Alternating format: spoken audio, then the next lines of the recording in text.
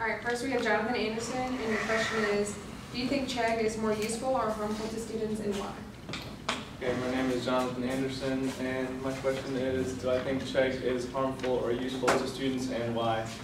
So, for those of y'all who don't know, Chegg is a student hub, uh, no, all y'all know who it is, or you're lying.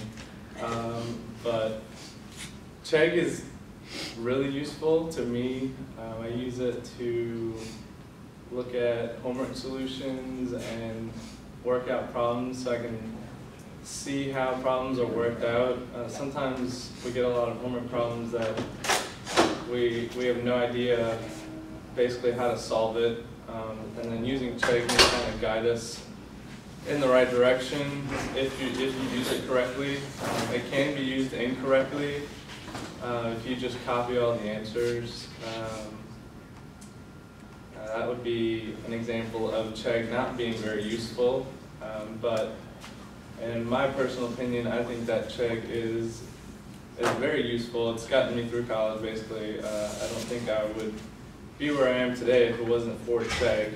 Um, but other than that, Chegg is uh, definitely a good thing for most people. Um, like I was saying, people do do cheat with them, which which could be bad.